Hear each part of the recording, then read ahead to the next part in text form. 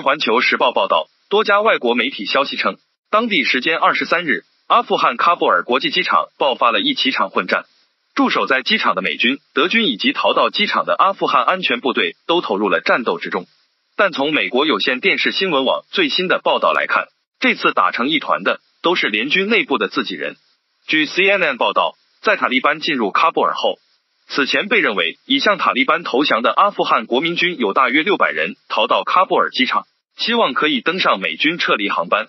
二十三日凌晨，一名身份不明的狙击手瞄准阿富汗安全部队人员所在的区域开火，导致其与守卫机场的德国士兵发生交火，造成一名阿富汗安全部队人员死亡，另外有四人受伤。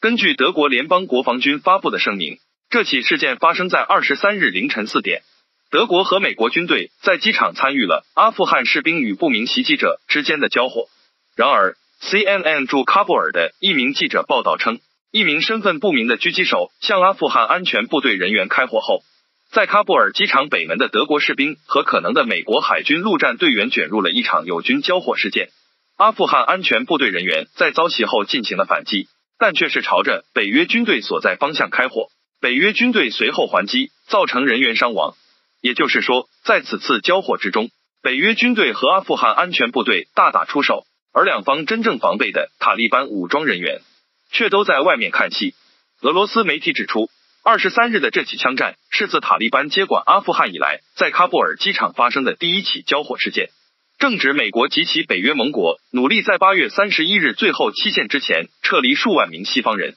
以及希望离开的部分阿富汗人。尽管美国总统拜登表示，如果有美国人仍未撤离，他可能会将撤离行动延长至八月三十一日之后。但塔利班已公开表示，这样做将违反和平协议。如果美国及其盟友未能在八月底前撤离，将导致后果，但没有提供任何细节。目前还没有关于机场枪战中那名狙击手身份的信息。到目前为止，塔利班遵守了与美国和北约部队的停火协议。在喀布尔的记者猜测。袭击者可能是恐怖组织伊斯兰国呼罗珊分支的成员，该组织据称在阿富汗开展活动。此外，俄罗斯卫星通讯社在二十三日晚间援引一名未具名的目击者的另一种说法称，